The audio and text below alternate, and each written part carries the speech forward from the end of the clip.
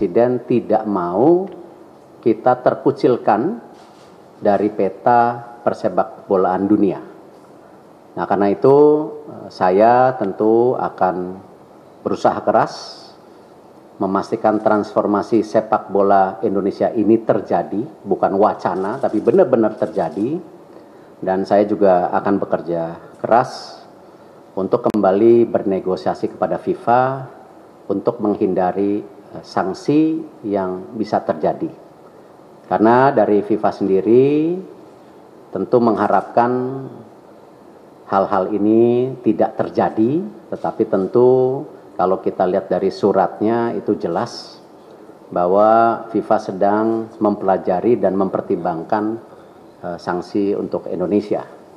Nah, karena itu saya sedang menunggu undangan kembali dari FIFA setelah mereka ada rapat uh, FIFA Council yang akan terjadi beberapa hari ke depan dan saya tentu bersiap untuk kembali uh, bertemu FIFA. Ya, sanksi terberat tentu ini yang kita tidak harapkan kalau kita tidak bisa berikut kompetisi secara maksimal di seluruh dunia.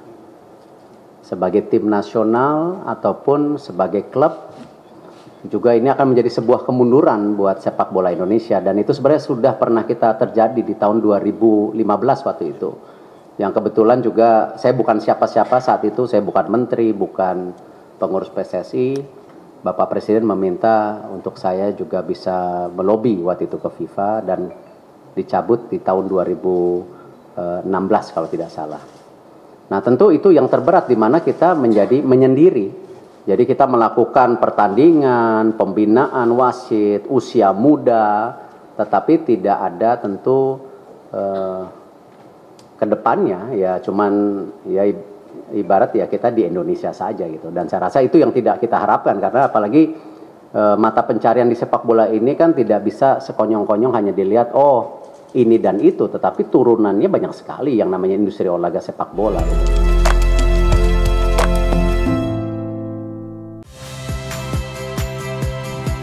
Saya Cynthia Rompas.